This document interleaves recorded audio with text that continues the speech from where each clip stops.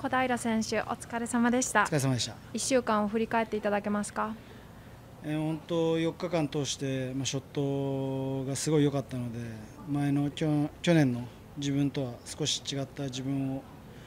まあ、出せたかなって思いますし、まあ、本当にスイング改造してきて、まあ、自分のものになってきてこうやって、まあ、スコアという形でちゃんと結果が見えているのでそこは本当に嬉しく思います。今あの満足のいってることに関してお話しいただきましたがあこの先の課題だなと思った点はありますか？うん、まあ、やっぱりアプローチパターが、まあ、も今一つだったなっていうのは感じるんですけど、まあ、その中でも例年よりはうまくできた部分もあったので、